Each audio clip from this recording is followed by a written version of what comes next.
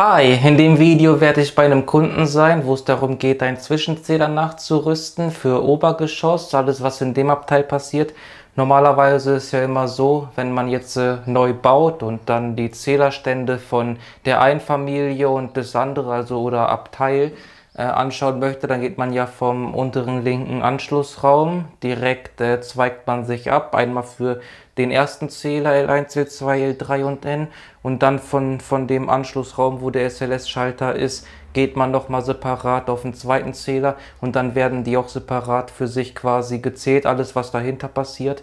Aber bei Nachrüstungsdingern wie bei ihm jetzt beispielsweise ist es so, dass es einen Hauptzähler gibt, ist auch alles verblombt und so weiter. Und zum Nachrüsten dann haben wir auf der rechten Seite nochmal ein, eine Dreipunktmontage gehabt, wo wir einen Drehstromzähler eingebaut haben. Aber der Drehstromzähler, also das Ding ist da, äh, der Hauptzähler zählt halt komplett alles und der Zwischenzähler zählt nur das, was ähm, abgeht nach oben hin, werdet ihr im Video sehen. Und dann hatte ich mich gewundert, weil der FI-Schalter wegen Carport äh, ausfiel und ist aber so, dass der LS-Schalter für Carport von vornherein unten gewesen ist. Das ist auch alles Altbau und so weiter, sieht man noch im Sicherungskasten, dass L1, L2 und L3 äh, untereinander gemacht wurde mit einfasigen Phasenschienen auf allen LS-Schalter, seht ihr im Video auf jeden Fall. Und im Carport sind ein paar Sachen, da ist nicht alles nach DIN VDE 0100-600 und was weiß ich, was da alles nicht gibt. Ähm, sondern es äh, kann sein, dass eine Abzweigdose abgerissen ist und deswegen da irgendwas ist, dass der Fehlerstromschutzschalter fliegt, aber der meinte am Ende auf jeden Fall, dass ich mich darum an dem Tag nicht kümmern müsste. Können wir so lassen, Hauptsache der zählt jetzt und der zählt auch alles, was oben passiert. Dann viel Spaß mit dem Video erstmal an der Stelle, genau.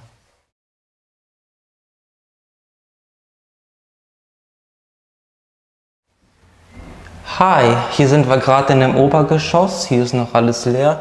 Hier ist auf jeden Fall eine alte Unterverteilung.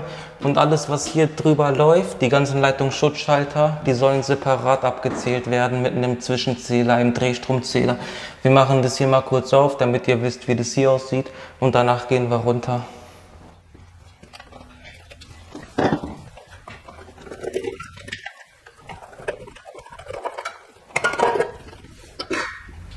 Hier sieht man an der Stelle eine fünfadrige Steigleitung, 5 x 10 Quadrat, PE, dann schwarz, braun, schwarz, L1, L2, L3 und ein blauer Neutralleiter. Neutralleiter geht hier oben auf die Klemme, Schutzleiter direkt hier drauf und L1, L2, L3 auf die ersten drei Leitungsschutzschalter und wird dann über die Phasenschiene auf alle anderen weitergebrückt. Jetzt ist es auf jeden Fall so, dass man hier theoretisch einen Drehstromzähler für die Hutschiene drauf machen könnte, hat aber keinen Platz, müsste dann eventuell hier äh, mehrere Verbraucher auf Einleitungsschutzschalter immer drauf machen und die haben auch meistens eine Teilungseinheit von 4,5, so wie ich das jetzt äh, die Erfahrung gemacht habe, so ein Drehstromzähler. Deswegen lassen wir das so und bauen ihn unten in Sicherungskasten ein. Und hier sieht man auch, wie das schön beschriftet wurde. Herd, Herd, Herd, Küche, Dunstabzugshaube, Geschirrspüler, Flur,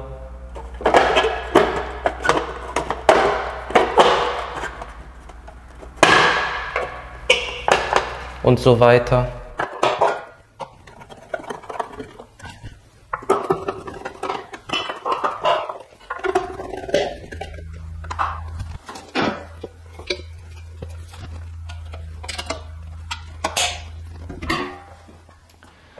So, hier haben wir jetzt unten den Sicherungskasten. Da haben wir den Hauptzähler. Hier haben wir nochmal Dreipunktmontage für noch einen Zwischenzähler. Äh, und den bauen wir auch hier ein. Hier haben wir den am Ende.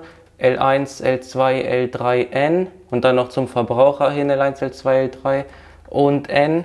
Und genau, jetzt sehen wir auf jeden Fall an der Stelle hier rechts die schwarze Leitung. Das ist die Steigleitung, die nach oben geht, die fünfadrige.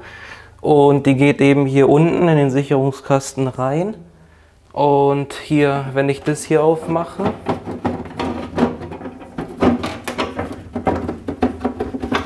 dann sehen wir hier die schwarze Leitung, haben sie leider schlecht abgemantelt, beziehungsweise, ich zeige das mal kurz.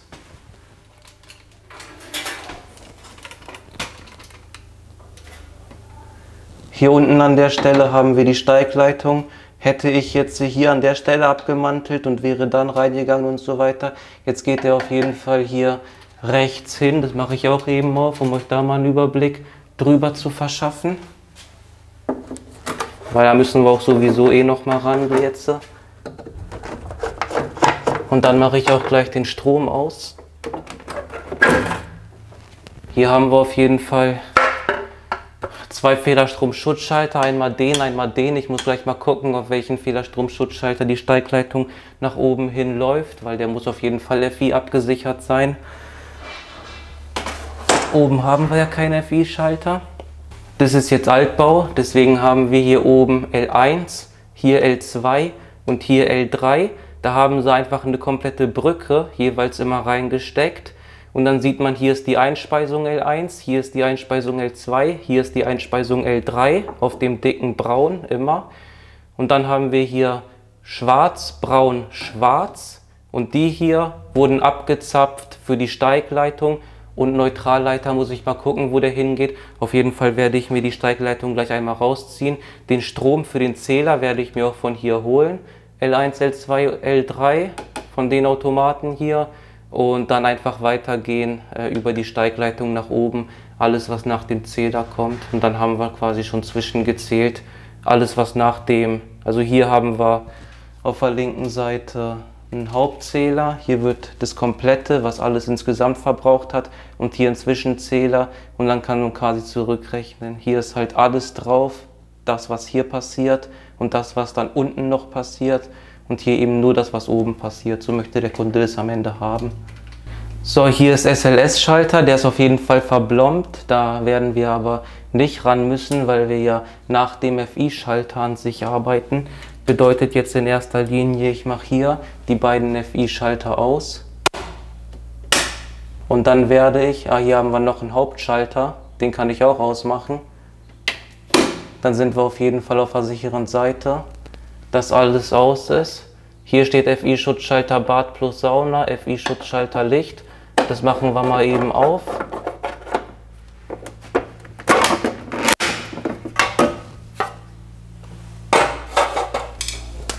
Dann prüfe ich einmal hier die komplette Spannungsfreiheit. Okay, hier auch nochmal. Und hier oben. Okay, gut.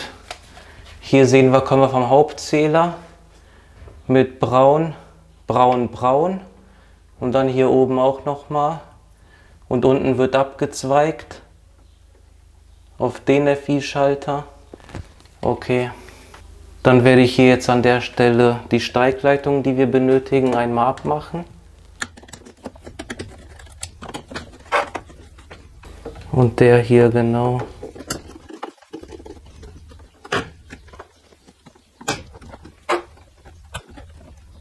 Das hier mache ich auch mal ab. Dann haben wir mehr Platz.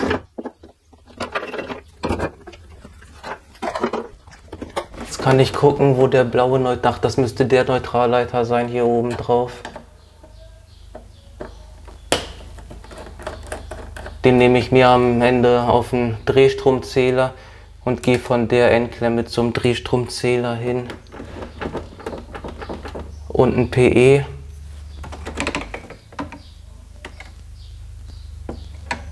Ist der hier.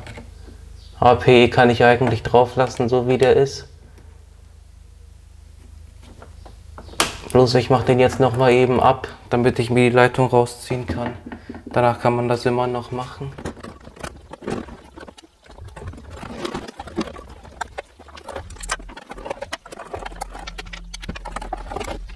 Hier werde ich mir auch gleich direkt äh, Löcher rausbrechen, damit ich die Adern hier durchziehen kann.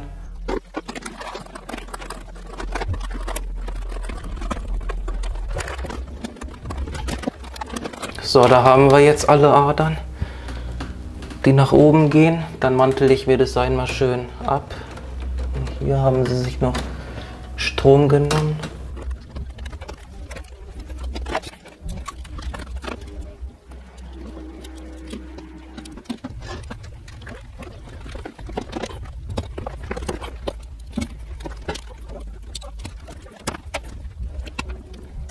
So, dann kann der Schutzleiter erstmal wieder hoch, da wo der hingehört. Ah, jetzt verstehe ich das auch mit dem FI-Schalter. Hier haben wir eine Zuleitung vom Hauptschalter, die hier wird unten eingespeist, wird rübergedrückt auf den und oben geht dann hier L1, L2 und L3 auf L1, L2, L3 drauf und von dem FI-Schalter L1, L2, L3 hier auf L1, L2 und L3 und der Neutralleiter, für, wo der hierher kommt, der ist da oben drauf und vom ersten FI ist der Neutralleiter da oben auf der Klemme drauf. Und deswegen, jo.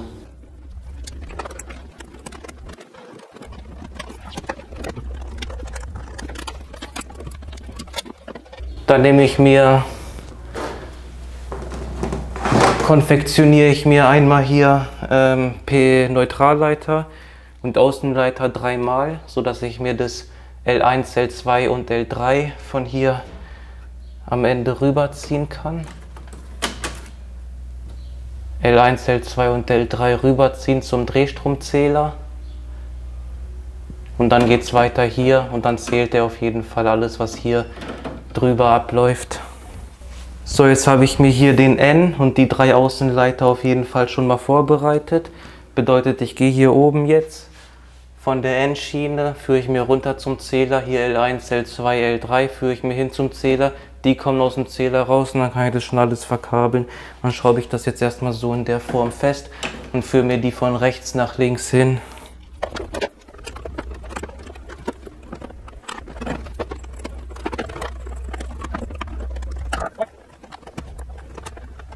Jetzt haben wir hier den Neutralleiter und dann fehlen noch die drei Außenleiter.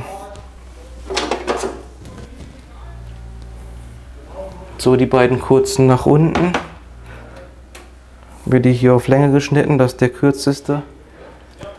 Der bekommt doch den kürzesten Weg.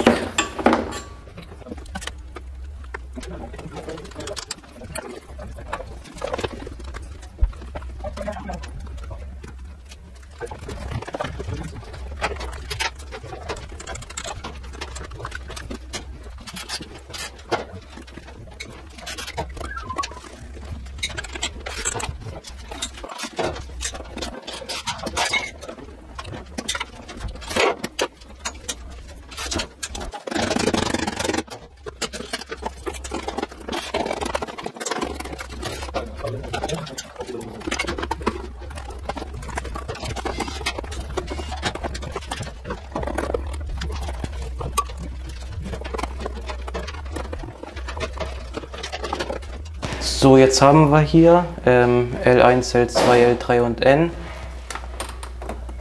von der Leitung, die nach oben geht. Hier L1, L2, L3 und N von hier, der kann wieder hoch. Und jetzt äh, kommt der Zähler hin und dann schließen wir das an und gucken, ob es funktioniert.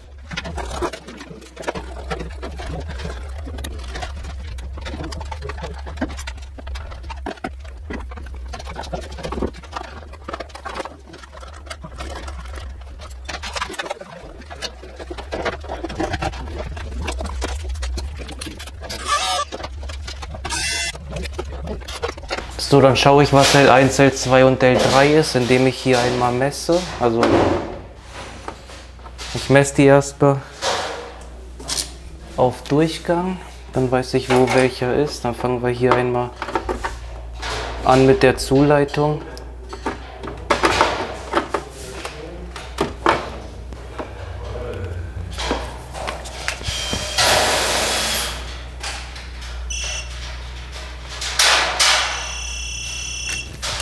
Da haben wir L1, der kommt dann hier drauf.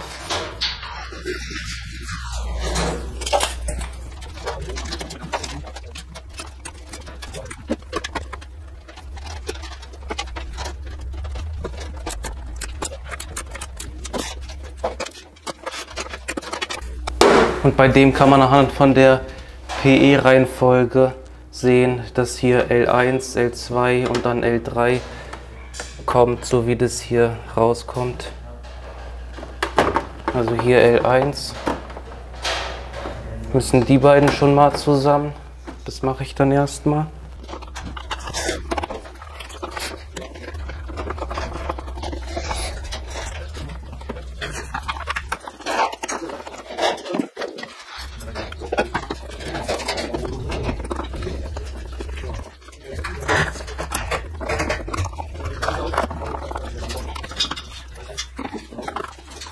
So, dann messen wir einmal hier L2. Das wäre der.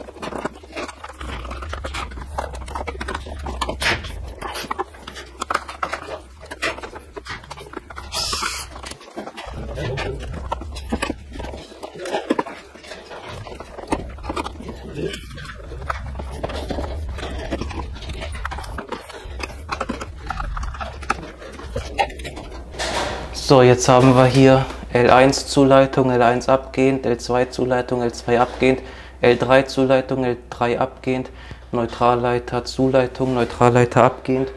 Muss man sich meistens, also wenn man äh, wie hier beispielsweise bei dem Zähler, ist so, dass man vor dem FI mit dem Neutralleiter abgegangen ist. Hier, weil es nur ein Zwischenzähler ist, ist das in der Regel egal. Oben zählt der auf jeden Fall alles, was hin und zurück läuft, jetzt was den Neutralleiter angeht. Man hätte auch vor dem FI abzweigen können. Hauptsache, der hat sein N, ob das jetzt nach dem FI oder vor dem FI ist, spielt beim Zwischenzähler jetzt in dem Fall meiner Meinung nach keine Rolle.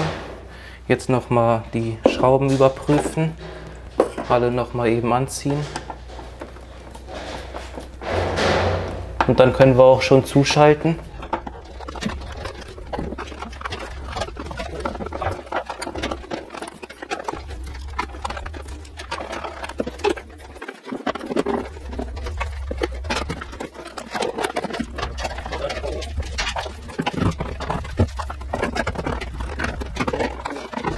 So ist wieder alles drin. Und jetzt schalte ich hier den Hauptschalter ein. Zack. Und jetzt sehen wir auch schon, dass der auf jeden Fall was anzeigt. 0,000 Kilowattstunden. Ah ne, der Fehler lag gar nicht bei mir. Das Ding ist, ich habe hier noch nichts gemacht. Äh, bloß mir ist aufgefallen, dass wenn der Leitungsschutzschalter unten ist, dann kriege ich den FI rein. Eventuell ist es so gewesen, dass da sowieso irgendein Fehler ist. Sobald ich hier zuschalte, fliegt der raus. Aber der hat ja gar nichts damit zu tun, sondern der hier und ich muss mit dem Neutralleiter abgangsseitig vom FI draufgehen, damit oben noch der Schutz gewährleistet ist mit dem Fehlerstromschutzschalter. Deswegen ist in der Form alles richtig. Ich schaue mal auf dem Video, ob der hier vorher aus gewesen ist und ich den jetzt im Nachhinein angemacht habe.